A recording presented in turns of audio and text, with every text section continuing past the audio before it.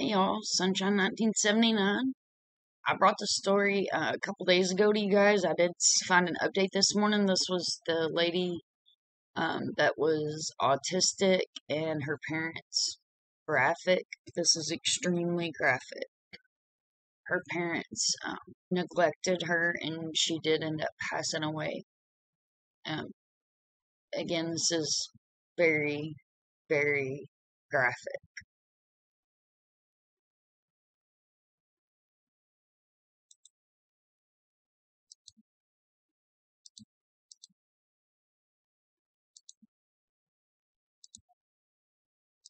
The Isaiah Factor Uncensored starts right now.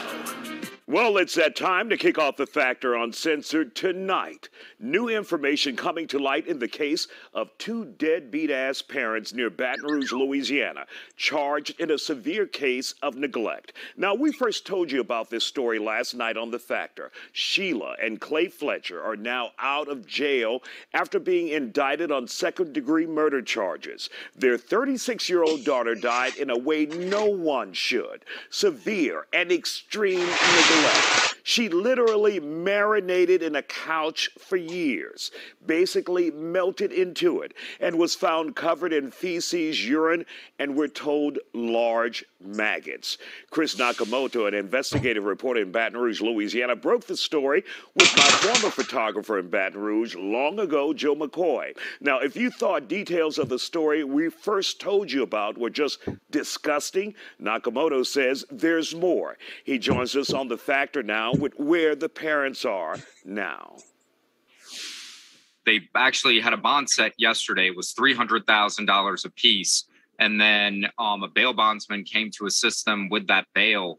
But there was a little hiccup. He brought about $3,000 of money short that they needed to get out. So Sheila was able to get out last night, and Clay just bonded out this morning um, after they got some of the additional money. Um, it really is just a horrific case of neglect. Um, both of them were indicted on second degree murder charges Monday by a grand jury in East Feliciana Parish um, for basically letting their daughter, who had autism, rot away on a sofa, they believe, for possibly 12 years. Wow. So, how long was she dead? before they called authorities, or did they call authorities? Give us the details on that because it's not too clear. Our sources think that she wasn't dead for very long. The parents were out of town the weekend before she was found. She was found uh, Monday, January 3rd, and they had called saying that their daughter was unresponsive. And then immediately, when you know paramedics help arrived, and then the coroner arrived, he said, you know, we need to treat this like a crime scene. Um, basically, he could tell it was just utter neglect. Um, literally, her her legs were embedded into the sofa, and she hadn't moved from there. It was basically, from what we were told, like a latrine or a cesspool um, that she was living in. Just horrific conditions. She had open wounds to the bone from her feet all the way to her buttocks and essentially had gnats and maggots all around her body. Oh my God, that's just incredible and just so damn sad. Now, how did they live in a house? Obviously, there are going to be smells.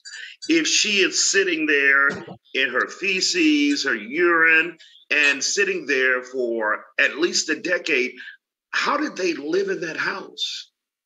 So that's what's so interesting. I guess they were just immune to the smell after living in the filth for so long.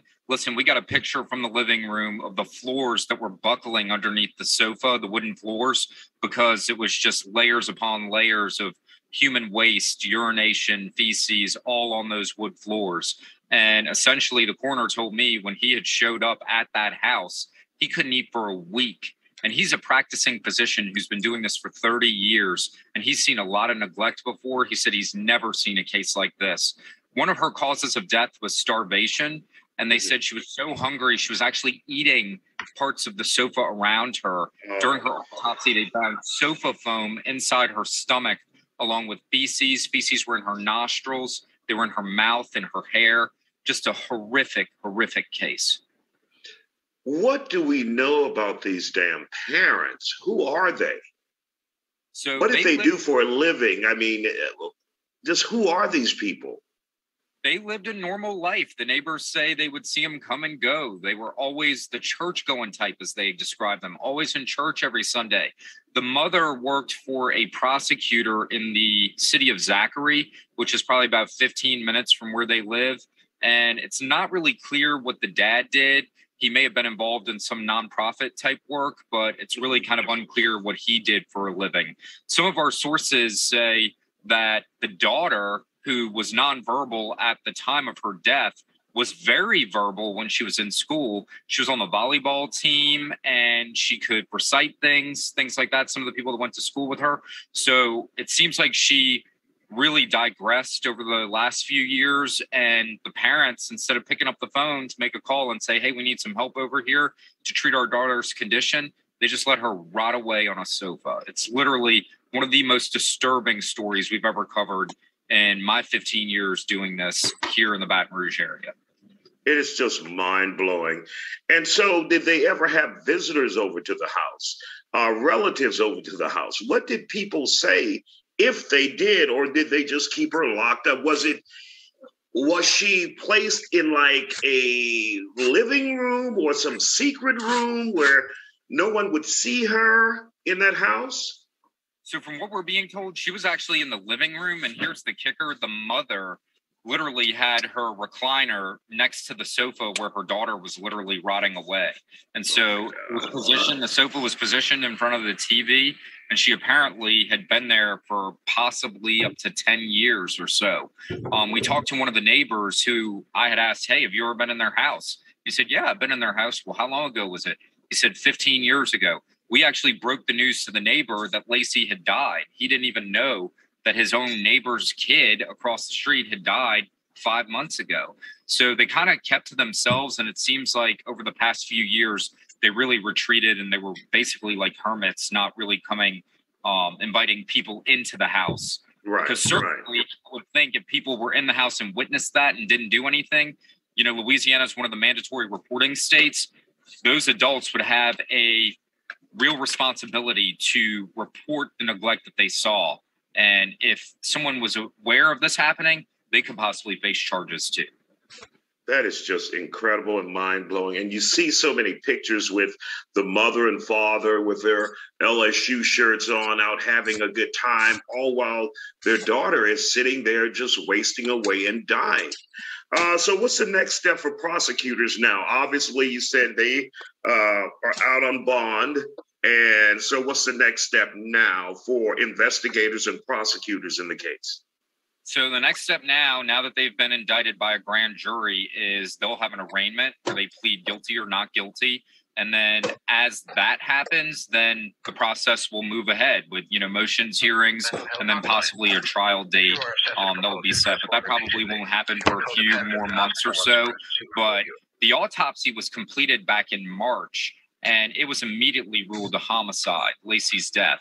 And the big question that a lot of the public here has is why did it take five months, if she died in January, to arrest the parents when everybody who showed up that night realized this was a problem. They'd never seen anything like this. The stench hit them like a ton of bricks the minute the door was opened. So, how in the world did it take five months to arrest these parents? And from what the sheriff said was they wanted to make sure that all their I's were dotted, T's were crossed. They knew that this case was going to a grand jury this week, and they wanted to see what the grand jury was going to do. And I think prosecutors were pretty clear they were going to be able to get a charge of cruelty to the infirm or maybe even manslaughter or negligent homicide, but no one really expected that they'd be able to get a second degree murder indictment which, if convicted, would carry a mandatory life sentence in prison for the parents. And so, second degree murder shows they had intent to kill their daughter, who literally rotted away on the sofa for all those years, and it appears they did nothing to help her. That's horrible.